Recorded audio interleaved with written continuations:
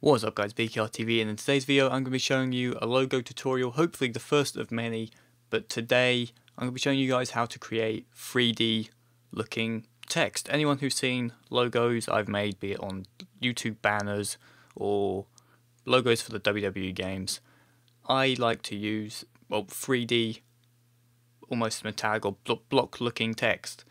So I'm just going to show you how I do it. For other people they do it differently but this is how I do it, it works for me. So I've got my canvas here, 512 by 512 and I'm going to go to the text tool. For anyone who wants to know what my program I'm using is, it's Affinity Designer. It was originally for Mac, it's now available for Windows. By all means check out, it's a really good program. So I'm going to just drag it a little bit there. So the text tool, I've dragged it. So I'm just going to type in, say, oh, let's just type in Baker. Just going to quickly align it. Now onto the effects, I'm just going to make it red for now, just for the sake of so we can see it. Now the two effects I use are 3D and bevel slash emboss. So I'm just going to go to the cog, the 3D effect I'm going to turn on and put it all the way.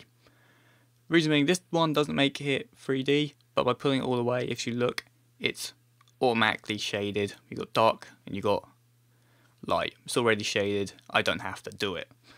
So this is the tool that does it, the bevel slash emboss. So I've turned it on. Currently it's got the pillow type. I do not like it. I do not like pillow at all. So I use either inner or emboss. More likely inner. And here's what I do that makes it more 3D like or just stands out better.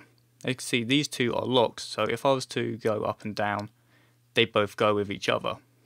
If you unlock it, and set the radius to say 1 and then make this one whatever you want as you can see it stays 3D but it stays flat which is how I do it.